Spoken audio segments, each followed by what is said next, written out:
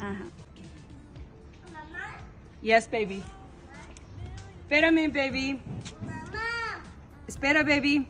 Mama. Sí. Mama. Baby. Mama.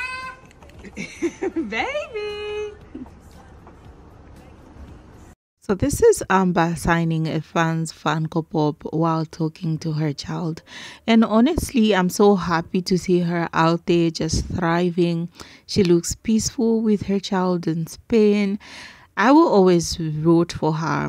I mean, our society really hates women, and it pained me to see her and Meghan on the most hated people list above abusive predators and actual rapists.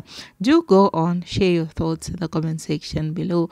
What do you think about this? Please do not forget to like, subscribe, and share this video. I'll catch you in the next one. Peace.